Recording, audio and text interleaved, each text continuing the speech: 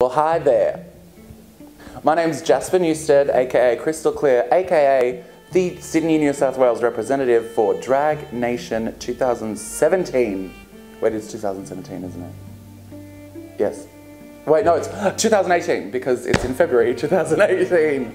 Um, I have been doing drag for about 10 years, or just just under 10 years now. Um, I started in 2007, 2008, roughly, um, and it's been a bloody whirlwind since then. Drag has taken me to really, really wonderful places and given me a lot of phenomenal opportunities, which I sometimes don't even believe have happened.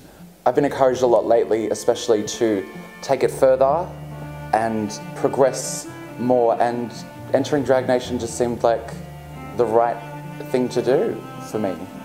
I'm really excited about meeting everyone and going to Hobart and performing and oh, just, yeah, I'm just really excited. I think one of the highlights of my career thus far, it wasn't something that sort of paid the most or, or gave me the most experience, I think, but it was just this really special moment of community and sisterhood. It was when I closed uh, Mardi Gras a couple of years ago with uh, a whole bunch of queens from Sydney. Uh, I got to do it with my sisters and I got to do it with my seniors and baby queens that started after me and people that looked up to me and people that I looked up to. And we all sort of came together in this big medley of classic drag hits on stage together and it was just it was really, really wonderful and it was really, really special. I hope my vision and my perspective on drag translates into something that people can understand. And if it doesn't, it doesn't. If you don't like what I do, look away. And if you like what I do, look. I love what I do and you don't really need a reason to do what you love. That's a little bit about me. I hope you like what I do make sure, if you like me, vote for me. That's it. Welcome to my life.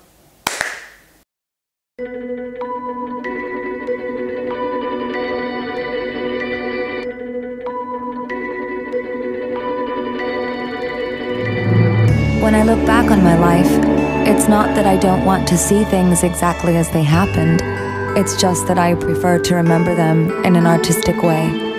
And truthfully, the lie of it all is much more honest because I invented it. Clinical psychology tells us arguably that trauma is the ultimate killer. Memories are not recycled like atoms and particles in quantum physics. They can be lost forever.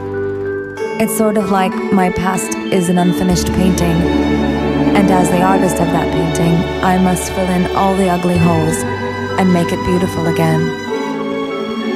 It's not that I've been dishonest, it's just that I loathe reality.